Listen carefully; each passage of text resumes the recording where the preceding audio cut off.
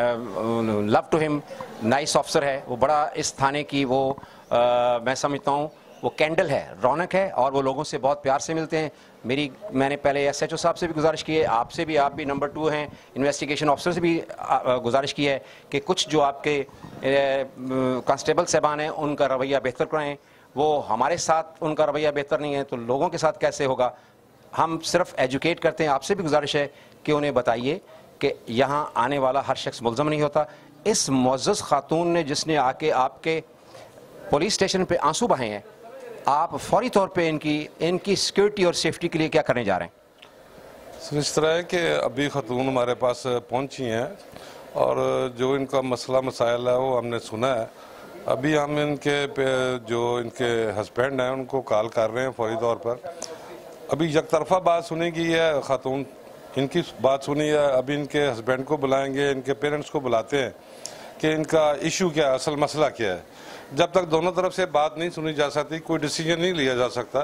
کوئی ایک آدمی آ کے کہتا ہے جی میرے ساتھ اس طرح ہوا ہے، تو اس کے اگر فوری طور پر انصاف دینا، اس کے لیے دوسری پارٹی کو کال کرنا بھی ضروری ہوتا ہے۔ میں بٹ صاحب آپ سے گزارش کروں گا کہ ایک خاتون پردہ دار خاتون بہت مشکل ہے جو اپنا گھر کا دروازہ دہلیز چھوڑ کے آپ کے پاس آتی ہے۔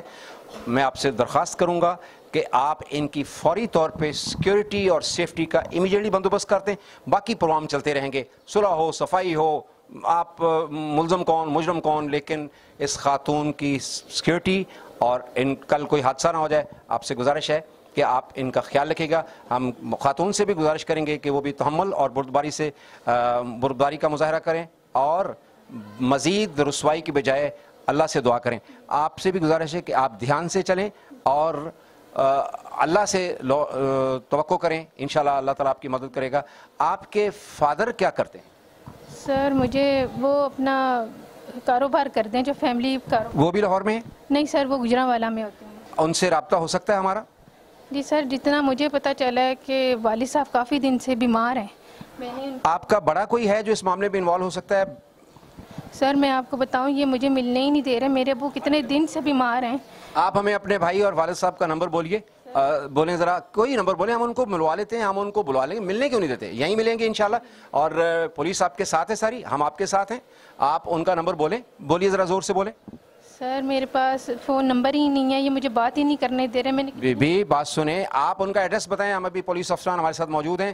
اور آپ فکر نہ کریں انشاءاللہ العزیز پروردگار کرم کر گیا۔ آپ ہمیں کوئی راستہ تو بتائیں کہ آگے چلا جائے۔ جی میرے بڑے میری نانی اماں ہیں ماموں ہیں اکاسی ہے سیٹلائٹ ٹاؤن گجرا والا۔ فاروق صاحب ذرا مہربانی کر کے eighty one alpha A satellite town Gujranwala. اور ذرا وہاں کی پولیس کو بھی کہہ دیں۔ کہ ان کو کہیں کہ جی وہ لاہور آپ کے ساتھ رابطہ کریں۔ ہماری پوری کوشش ہوگی اور انشاءاللہ عزیز میڈیا آپ کے ساتھ ہے، پولیس آپ کے ساتھ ہے۔ انشاءاللہ ہم دعا گو ہیں، مغرب کا وقت ہے، پروردگار آپ کی مشکلات حل کرے گا۔ انشاءاللہ